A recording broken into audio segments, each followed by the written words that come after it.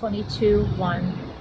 It is good to give thanks to the Lord, to sing praises to your name, O Most High.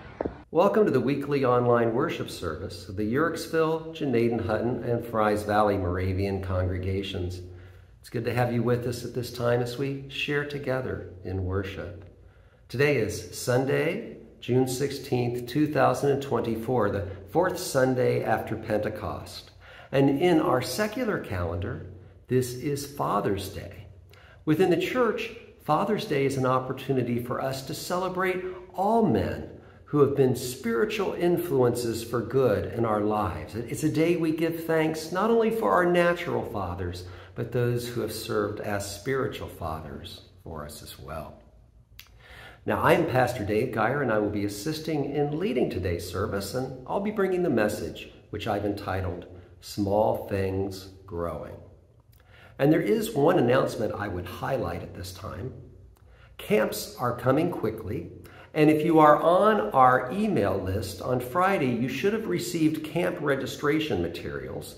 But I would especially highlight the registration materials for Tar Hollow Camp, which is our camp, our Mid-States camp offered to youth who have completed seventh grade up through post high. Now, Tar Hollow registrations are due this week in our church office in order for folks to receive a campership benefit.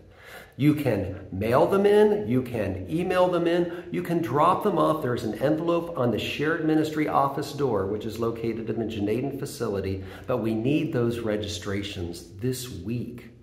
And let me remind you that if you have a young person associated with our partnership in any way, um, not only are they eligible for our campership benefit, but if they bring a friend, that friend is also eligible. And so camp is very affordable.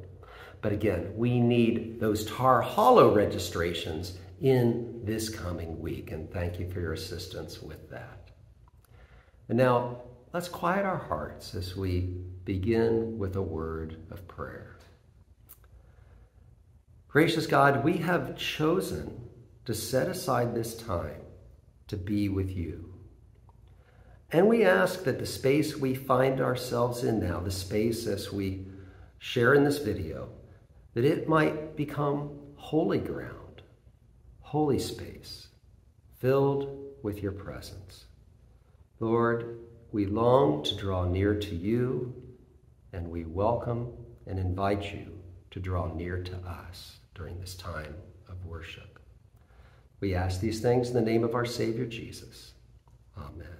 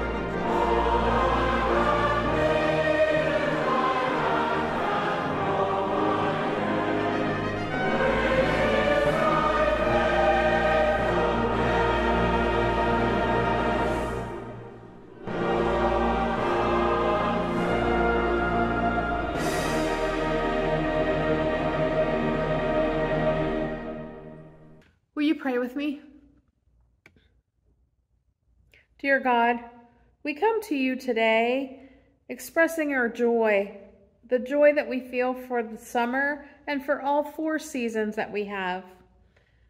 We come with joy of spending time with family and friends and just living our lives as we like and as we choose. We also come to you with concerns, those who have been named and those who are on our hearts. Watch over them. Reach your healing hand or your comforting hand to help guide them. We will pray the prayer you taught us, saying, Our Father, who art in heaven, hallowed be thy name. Thy kingdom come, thy will be done, on earth as it is in heaven. Give us this day our daily bread, and forgive us our trespasses, as we forgive those who trespass against us. And lead us not into temptation, but deliver us from evil. For thine is the kingdom, and the power, and the glory, forever and ever. Amen. Today's scripture reading comes from Mark chapter 4, verses 26 through 34. Jesus said, The kingdom of God is as if someone would scatter seed on the ground and would sleep and rise night and day, and the seed would sprout and grow. He does not know how. The earth produces of itself first the stalk, then the head, then the full grain in the head. But when the grain is ripe, at once he goes in with his sickle because the harvest has come. Jesus also said, with what can we compare the kingdom of God, or what parable will we use for it? It is like a mustard seed, which, when sown upon the ground, is the smallest of all the seeds on earth. Yet when it is sown, it grows up and becomes the greatest of all shrubs and puts forth large branches so that the birds of the air can make nests in its shade. With many such parables, he spoke the word to them as they were able to hear it. He did not speak to them except in parables, but he explained everything in private to his disciples. And now it's time for a moment for God's children of all ages. Hey there, kids. You know what today is, right? Today is Father's Day. It's a day we give thanks for dads, and within the church, it's a day we give thanks for all those men who have had a special role in our lives, who've taught us about life and faith. Now, if your dad's in the room, or if someone you love like a dad is there, you need to pause this video and give them a big hug right now. And if you're thinking of someone who maybe isn't in the room with you, maybe somebody that lives somewhere else, well, perhaps you'll give them a call or write a little note letting them know how special they are. This is a day we give thanks for those men who've been spiritual fathers and natural fathers to us all. I'm thankful for those men. You know, someone else I'm thankful for is teachers. Now, many of you kids, if you go to school, you might have a big smile on your face right now because it's summer vacation. And you know what? Many of those school teachers who work so hard to teach you throughout the year, well, they probably got a big smile on their face right now too because it's summer vacation. We give thanks to God for the teachers in our lives who give so much to serve us and to help us learn. And did you know that Jesus was a teacher too? That's right. Jesus taught grown ups and kids too about some of the most important things of all. He taught folks things like how to live and what's really important in life, and how to know God, and how we can be part of bringing about God's good will for this world. And Jesus was a pretty amazing teacher. I believe he was the greatest teacher that ever lived. Even though it's been 2,000 years since he first began teaching, ever since then, generation after generation, all the way up to today, people around the world continue to study and learn from Jesus' teachings. And one of the ways Jesus liked to teach was by telling parables. Parables are stories taken from everyday life. The stories were often simple enough, and who doesn't like a good story? But Jesus' parables were not just interesting stories, It was a way he taught people things. You see, each of Jesus' parables contains a lesson, something important for people to learn. But the lessons in Jesus' parables, they're not always obvious. Often parables are kind of like puzzles. People need to think about them and puzzle over their, them in their head and try to solve them, to try to solve them and discover their lesson. Of course, another approach to solving Jesus' parables was to do what his disciples often did. Sometimes they would go to Jesus and ask him to explain the meaning and help them solve the puzzle. And when they did, he would usually help them understand. He would give them the answers because he wanted them to understand. Now, Jesus' disciples passed on many of Jesus' parables to us and often they also wrote down the meanings that Jesus explained to them. But not always. Sometimes they just wrote down the parables without revealing the lesson. They give us the opportunity to try our hand at solving the puzzle and discover, discovering Jesus' lesson for ourselves. And that's the case in the Bible reading we just read. Jesus tells two stories from everyday life both have something to do with seeds and plants. And he gives the hint that the hidden meanings of these parables have something to say about the kingdom of God, something to do with the way God is working in the world, something to do with the way God's future will unfold, and the way the good things God wants for the world are coming and will come to pass. Those are clues, but then it's up to us to work on the puzzle and to try to discover what Jesus is saying to us through the parables. That's a tough task, but we'll give it a shot in the grown up message coming shortly. And maybe God's Holy Spirit will help us if we ask, because Jesus wants us to solve those puzzles and to learn those lessons. Let's pray together now, shall we? I'll pray and you can pray after me. Lord Jesus, Every day you have something to teach us. Something about life, about God, about ourselves, about what's really important. We want to learn from you today. We ask your Holy Spirit to help us. Amen.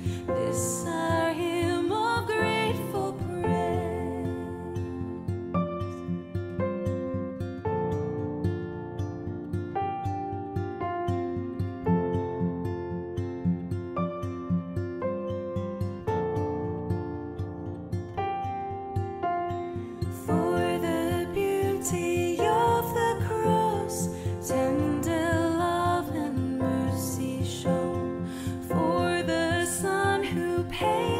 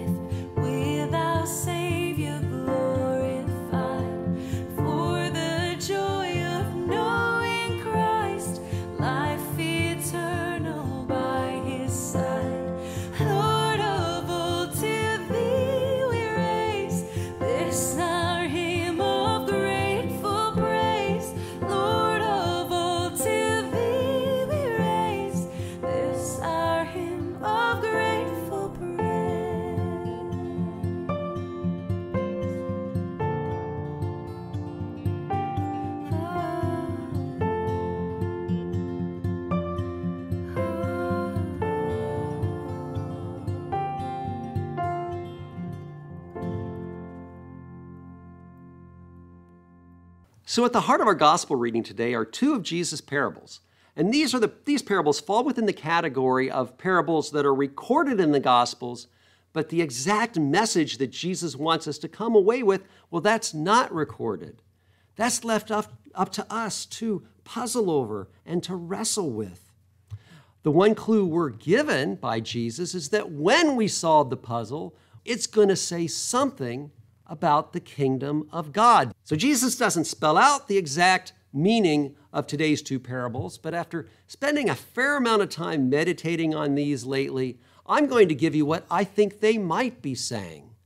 But of course, if you look at them and you come away with something different, who's to say if you aren't closer to Jesus' meaning than I am?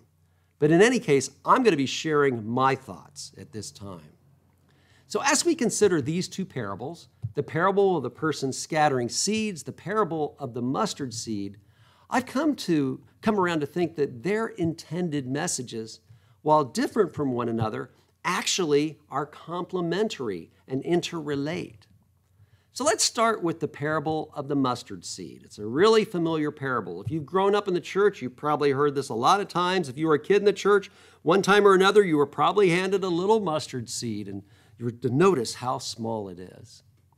Jesus says the kingdom of God is like that mustard seed, which, even though it's one of the tiniest of seeds, it grows into one of the largest of bushes.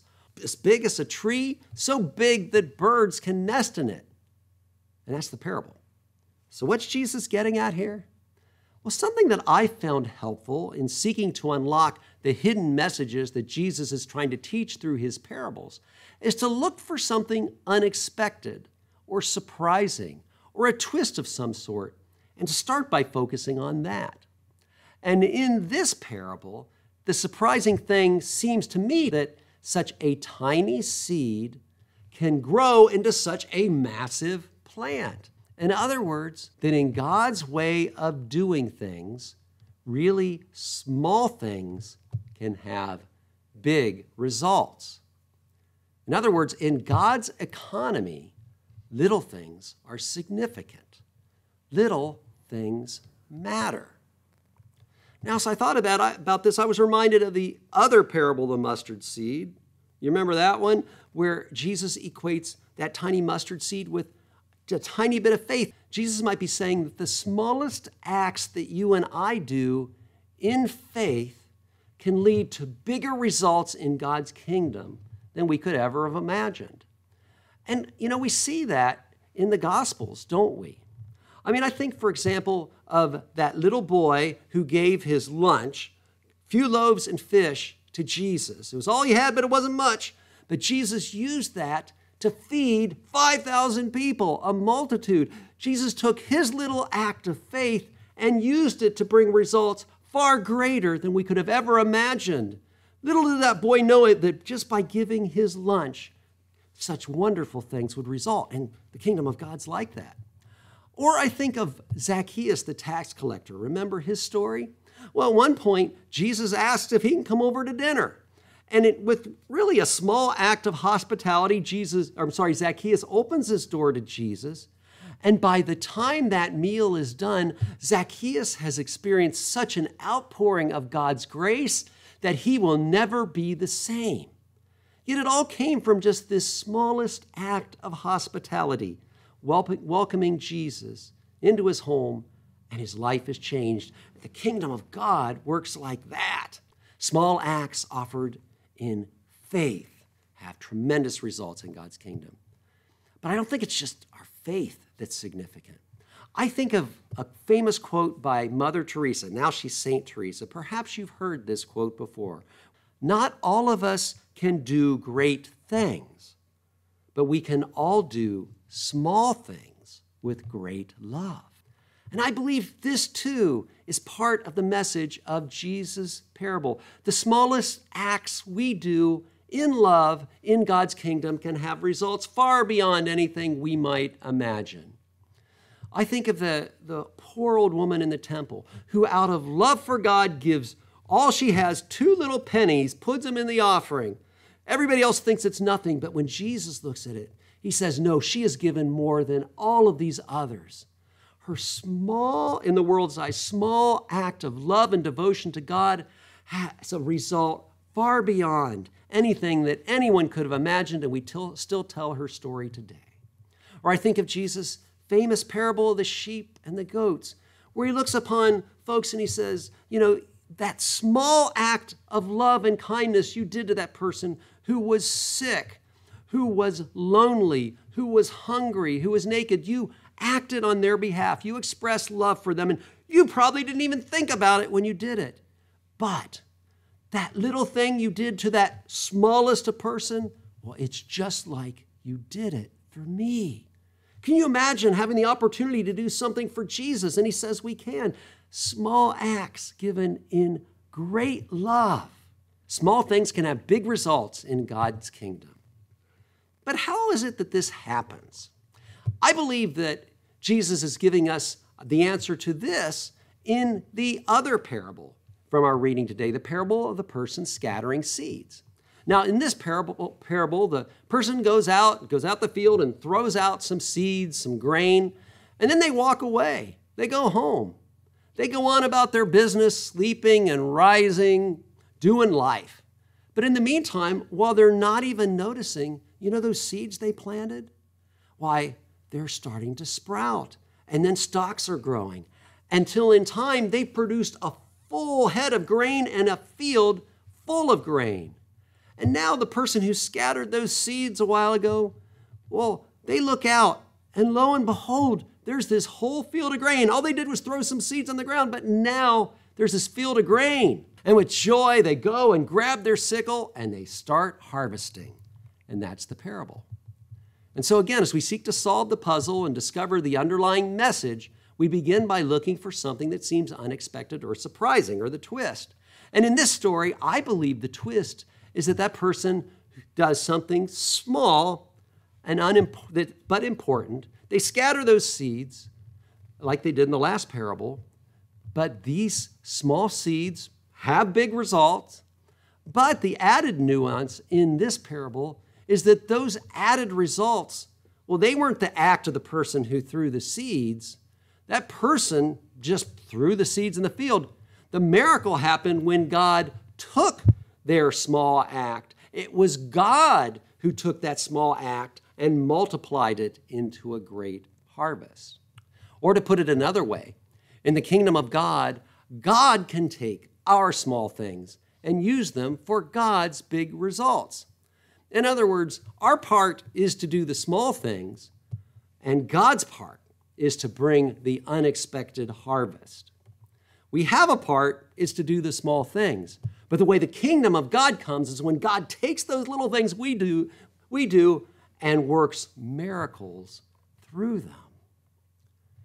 There's a, a verse in the prophets that says, Do not despise the day of small things. And I think that's tied into this message. We should not discount the smallest things we do in faith, in love.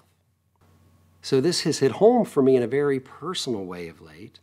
As many in our online audience may not know, on Thursday, June 6th, my dad, Leroy Geyer, passed away. And this is in the midst of a family vacation that he had made possible by renting a home, and we had gathered as many of his grandkids who could make it, and and the whole family was there, and we were secretly planning to surprise him with a day to honor him and, and celebrate him. Sadly, things took a different turn. He was hospitalized almost after we arrived. We were expecting his release, but it didn't happen. And he died quite suddenly on June 6th. I was with him at the time. Now, as you can imagine, and even in more ways than you can imagine, this has been a very was a very painful time. Yet there was much grace, and God was present as well. And afterwards, we went through the experience many of you have gone through with the, the funeral, the calling hours, for me, preparing a memoir. And during that time, I was blown away as person after person were coming to pay their respects, and they would tell me the impact that my father had had on their lives. Now, I knew my dad really well, warts and all. I also know he was a man of deep faith. He knew his Bible inside and out. He really wanted to live for God. And yet, I had never had any appreciation of the impact that he had had on others' lives until they came to me, one after the other, describing small acts of faith, small acts of love that he was responsible for, things he probably forgot about, but they had had a lasting impact. Some folks coming and telling me stories from 20 or 30 years before that continued to impact their lives for good, ways that the little seed that he had planted in faith and love, way God had taken that seed and worked a miracle through it, multiplied its effects far beyond anything that could have been expected. And on this Father's Day weekend, it's an opportunity for all of us to reflect not only on the lives of our dads, but also on the lives of all men who have had that kind of influence on our lives, who have planted their seeds of love and faith in us. And not just the men. Fries Valley Moravian Church this weekend will be celebrating the 167th anniversary of the congregation, and I will be inviting them as I invite you now to reflect on your journey and what has brought you to where you are in your life of faith. It wouldn't surprise me if, as you look back, you will find small little moments, small acts of faith, small acts of love offered towards you by someone else, things perhaps they never even thought of at the time, but have had a lasting and hugely magnified impact on who you are today in your life of faith. Little, the smallest act, little seeds they planted in faith, in love, that God has used to perform a miracle through in your life. Friends, let us not despise the day of small things. Small things can have big results in the kingdom of God. God can take our smallest acts offered in faith and love and use them for God's big results, for God's miraculous results. That's how it works in the kingdom of God. Amen. And now our benediction. As we go from this space, we may not be given the opportunity to do the great things, but let us not discount the small things. Yes, as we go from this place, let us look for opportunities to do the small things with great love and great faith. For through such, God can work mighty wonders. For such is the way the kingdom of God comes. Go in peace. Amen.